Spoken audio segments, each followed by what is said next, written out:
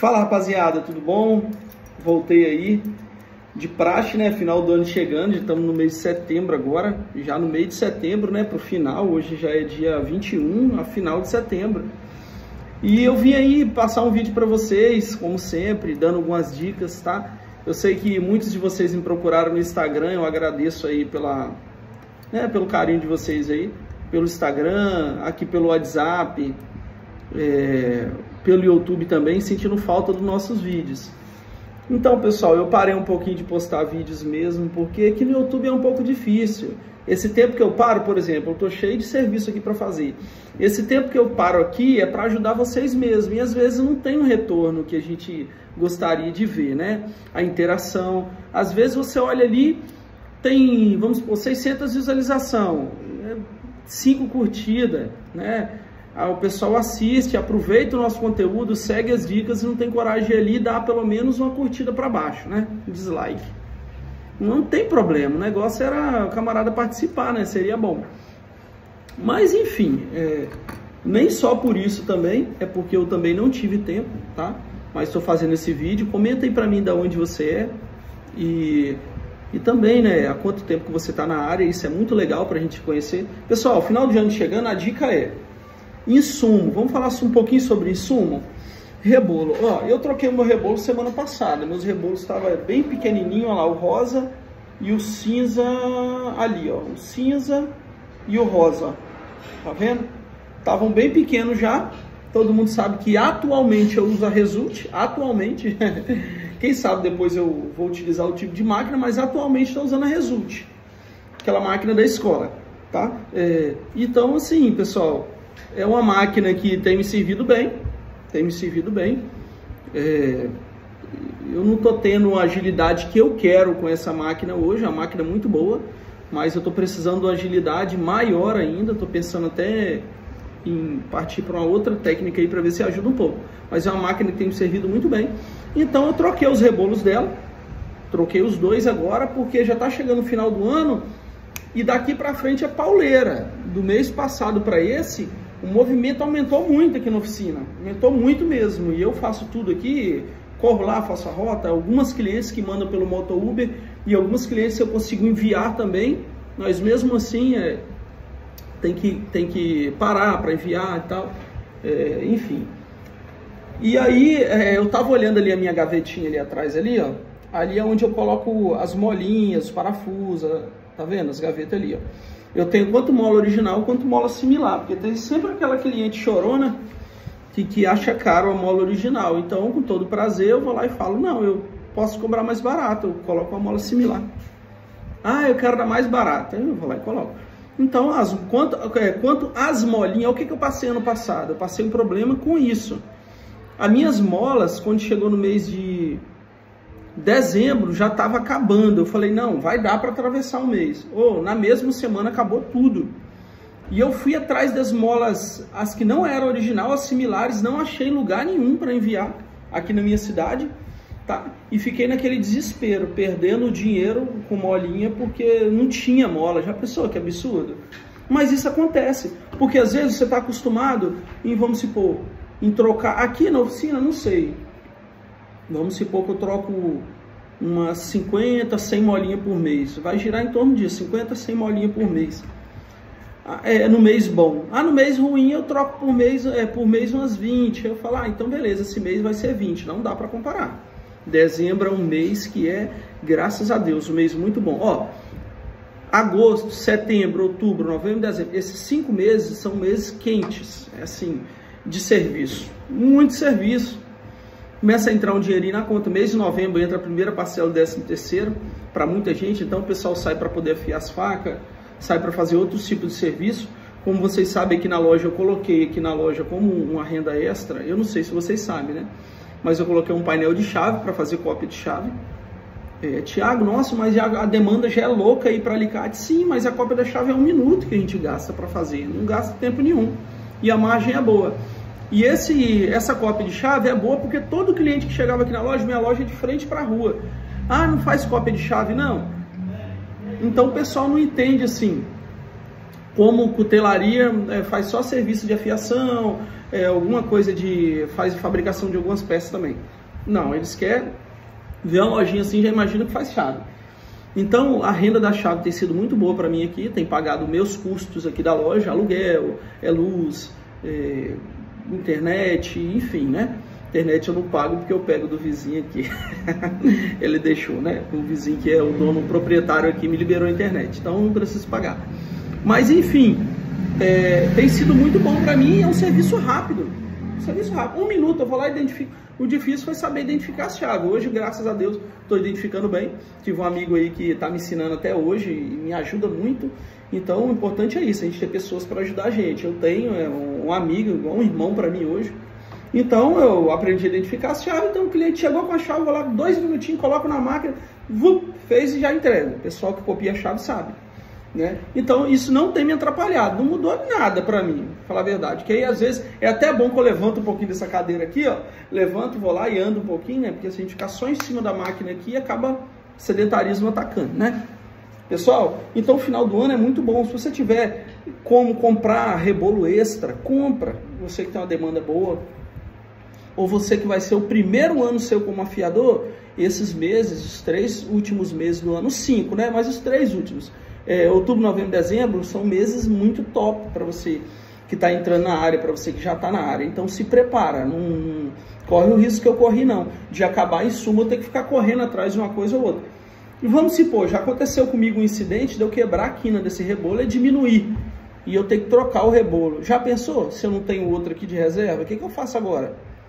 Eu ia me arrebentar, ter que trabalhar com um rebolinho pequenininho, que é horrível. A produtividade cai e vai lá embaixo, porque eu não afio na alta rotação, igual muitos de vocês, eu afio com rotação média aqui, é 2000 e, eu acho que é 2400 RPM, não lembro muito bem essa máquina, acho que é por aí, né? De 2000 a 400, de 2200 a 2800 RPM, um negócio assim. Mas é a rotação média, não é a rotação alta não. Então, se eu tiver um rebolo pequeno aqui, minha produtividade vai lá embaixo. Então, eu sempre tenho um rebolo, mantenho um rebolo grande, quando ele começa a diminuir uma polegada e meia, eu já quero trocar.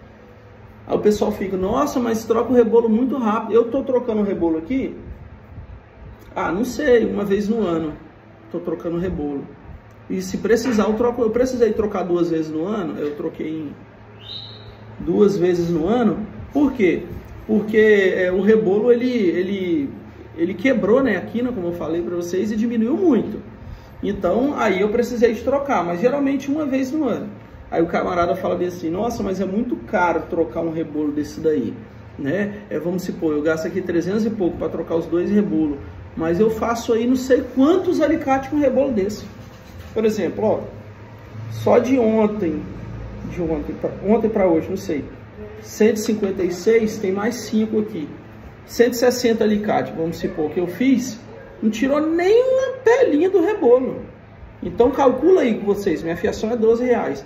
160 alicate. O que, que, é esses 300 reais? Então assim, é, é, é para mim é irrisório trocar o rebolo. Começou a me incomodar, eu já troco mesmo. Eu gosto de trabalhar com ferramenta boa, certinho, tá? Então essa é a dica para vocês. Final do ano aí, Coloca alguma coisa para vender na loja. Não sei se você tem uma loja, coloca um copo para vender. Se você não tem loja, tá em casa, sei lá, coloca outras coisas para atender também esse tipo de cliente, tá?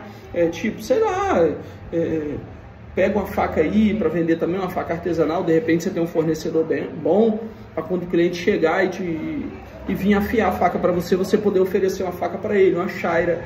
Então eu tenho pensado muito nisso para aumentar o ticket médio.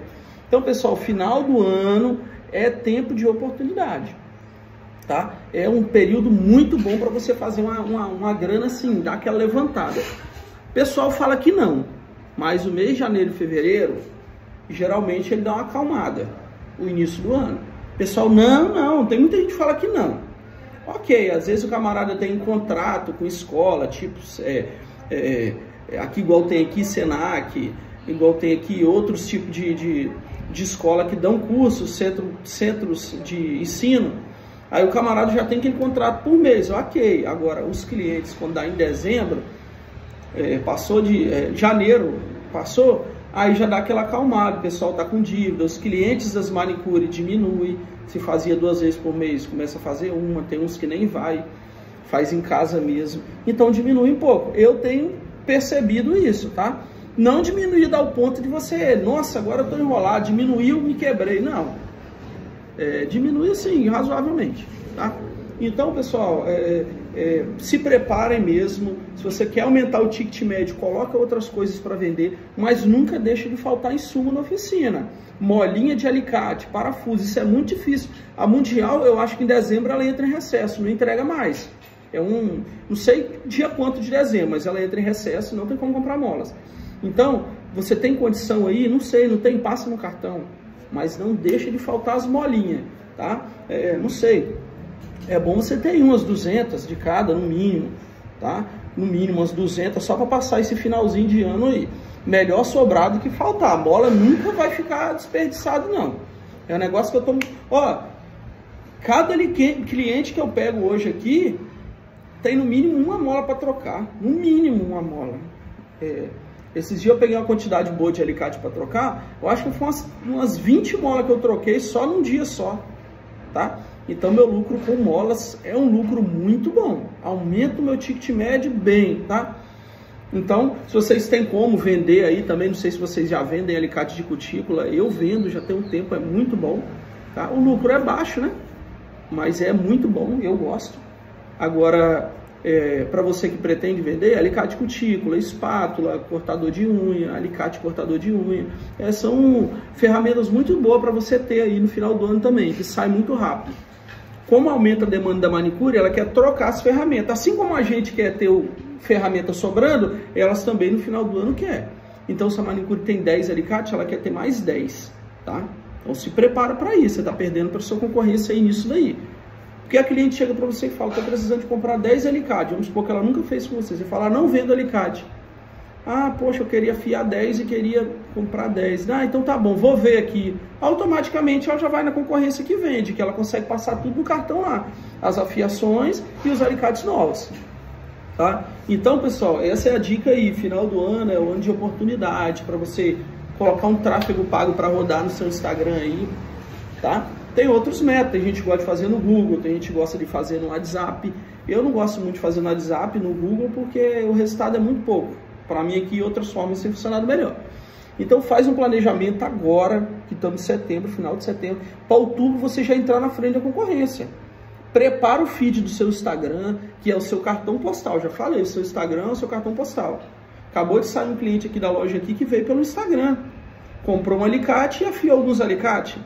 Então, assim, é, os clientes que vêm pelo Instagram hoje, graças a Deus, é muito bom são muito bom mesmo. Meu Instagram traz muito cliente para mim. Toda semana tem cliente novo vindo do Instagram, sem eu colocar tráfego nenhum, sem eu colocar dinheiro.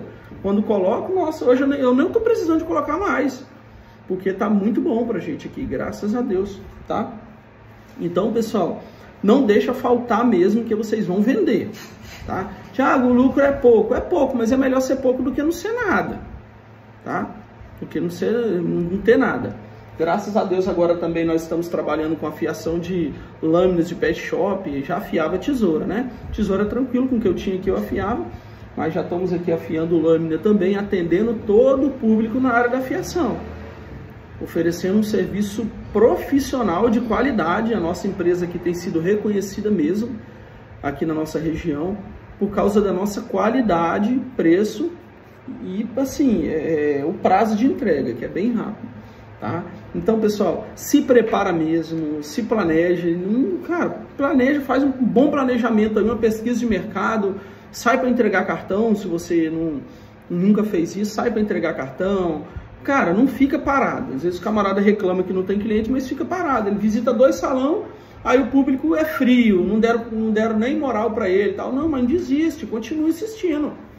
Quando o jogo virar para você, nossa, o que você gastou com cartão, o que você gastou com publicidade, isso aí vai ser irrisório, que é o que é para mim hoje, tá? Então, pessoal, é, tô aí, não sei se eu vou fazer outros vídeos, porque, assim, é, é pouco é, interação que a gente tem aqui no YouTube, né? A gente faz para poder ajudar, mas tem pouca interação, o pessoal não fala se gostou do conteúdo, o pessoal não dá de, é, é, pra gente, tipo assim, é, dica de conteúdo novo, dá dica aí, pessoal. A gente queria ver isso aqui no seu canal, cotidiano, tal. A gente vai tentar fazer para vocês, mas é importante a interação, tá? E Como sempre, quero agradecer aí o carinho de vocês, todos vocês que enviaram mensagem para a gente pedindo para voltar para o YouTube, tá? Não voltei porque estava muito corrido, graças a Deus, mas eu vou tentar devagarzinho vir trazendo uns vídeos novos para vocês. Tá bom, pessoal? Um abraço, espero que tenham gostado da conversa, tá? Já curte, se você não é inscrito, se inscreve no canal que, se Deus quiser, em breve teremos novidades aí, tá? Um abraço.